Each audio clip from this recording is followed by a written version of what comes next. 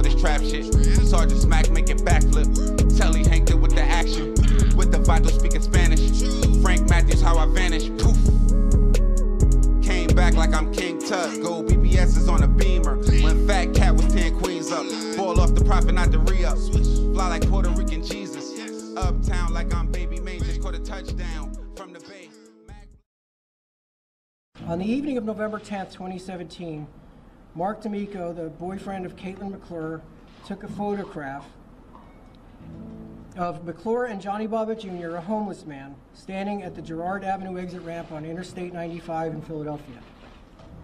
Within hours of taking this photo, McClure and D'Amico created a charitable campaign on the website GoFundMe.com. The paying it forward story that drove this fundraiser might seem too good to be true.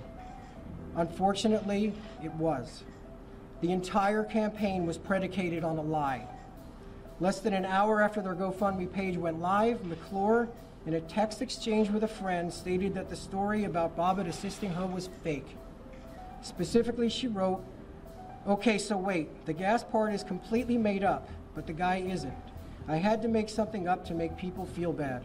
So shush about the made up stuff.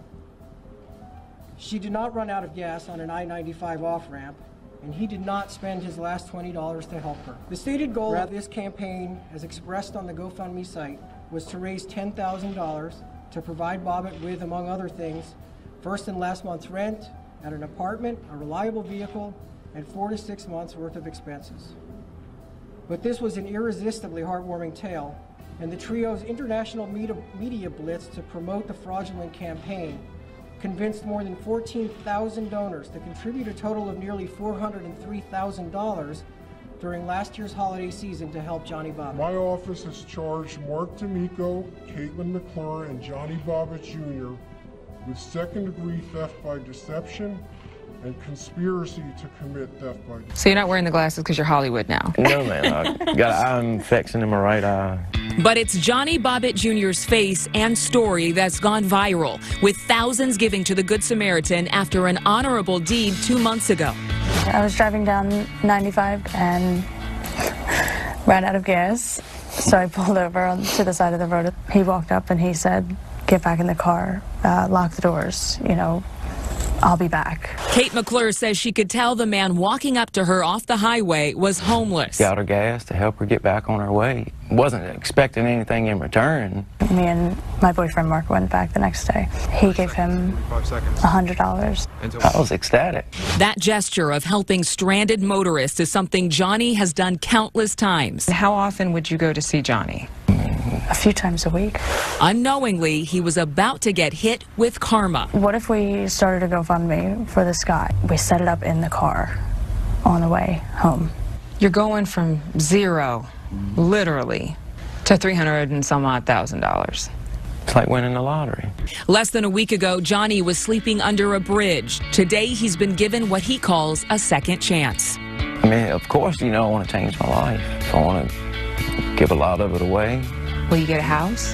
Yeah, I, I'm definitely going to get a place to live. There won't be no brand new car either. No. No, oh ma'am. Goodness. Used car? Absolutely. Maybe a truck? Absolutely a truck. And Johnny wants to say thank you to all the everyday people giving to him. In two weeks, they've received over $360,000 in donations. At one point, Johnny actually asked Kate and Mark, her boyfriend, to stop the fundraiser. They did that for 12 minutes, saying other people needed the money, but they received backlash from people who said, no, I insist on donating Wow. to Johnny. Now, we're also tell, uh, they're also telling us that they've been speaking to a lawyer and a financial advisor about Which is wise smart. choices for Yeah. this money and, and helping Johnny. I love that he says he wants to pay it forward again with all of these donations. And that's his first his first inclination Yeah. is to pay it forward, not to buy a home or to take care of his own needs. Yeah. But it's to give back. He says that there are causes outside of homelessness that he also wants to give to, but he's still processing this. He's D'Amico very originally overwhelmed. faced again about a half dozen charges, but today he pleaded guilty to a single count of misapplication of entrusted property. And as part of this uh, deal, he agrees to serve five years in prison and pay restitution. And D'Amico's attorney says more or less this uh, action today kind of clears the path also for the federal case where he faces more serious charges including money laundering and wire fraud conspiracy D'Amico's attorney says that he plans to fight those charges. We're live in Mount Holly. Cleve Bryan, CBS 3 Eyewitness News. Thank you, Cleve. Yo, we back. It's your boy Pop-A-Lot. Mob ties. We on our way to Boardington Town, New Jersey. But we gonna pop out in Philly. But we got Heron in the story, so that shit is not surprising. But we are going to be covering a guy by the name of Mark D'Amico. Also have to talk about a female by the name of Kate McClure. And also a gentleman by the name of, let's just call him Mr. Bobby. Yo. So, man, y'all seen it. They pretty much concocted a GoFundMe scheme that ran it up to 400,000. They was they had a goal of 10,000, but the story was so heartfelt to America, they ate it up. And that led to my man Mark D'Amico eating it up.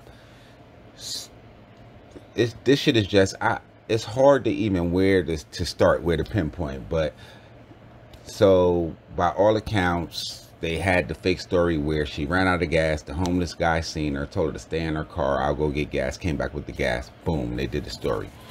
Now, the part where it goes downhill, because this had me thinking how many of these schemes that you see, or how many of these GoFundMe campaigns that you see are schemes. And I noticed that when the charges were brought down, um, her cell phone records were subpoenaed. I'm going to say it all went down when they tried to fracture the relationship with the guy that brought in the money or uh, I don't want to say break the hand that fed you because they concocted the scheme that brought in the money. But yeah, when they try to cut off the breadwinner. So the first thing I want to do is I'm not doing no scheme like this. Well, I uh, probably would have. I mean, uh, I probably would have, man. But mm, when I seen what my guy Mark D'Amico was charged with, I'm pretty much good on this one. I'm sure it's another way that I can make a make some a little bit of scratch. But the the thing that kind of stood out to me was according to some accounts, it's like Kate McClure set up the situation and my man Mark D'Amico is the one going down. So as you've seen, he was sentenced to five years in state prison. And I seen as of January 2020, he was indicted on a 16 count indictment, um, money laundering, conspiracy, now, huh, I couldn't find any recent updates as far as 2021. I know sometimes when cases are pushed out, but let's just say that it's hard to beat the federal government definitely on a money laundering charge because they they're not just woofing when they call you in the court saying that they got you on money laundering. Uh, a lot of times they probably got paperwork that's going to show this and once you smack the conspiracy on top of that um, i'm gonna probably say my man is looking at probably a a 15 but my legal experts y'all get in the comment box and y'all let me know um, what y'all think he facing and i can't even really ask is this worth it because this is not one of those cases that's worth it but this is definitely an eye-opener to show you that yeah, you can get burnt a lot of ways, man. you can get burnt a lot of ways, so watch your steps. Y'all make sure y'all follow me on Instagram, on Twitter. It's your boy Pop-A-Lot, P-O-P underscore A underscore L-O-T. I'm up, keep bringing y'all this real, trill, spill shit. You already know it. And y'all know what it is. Mob, mob, mob, ties.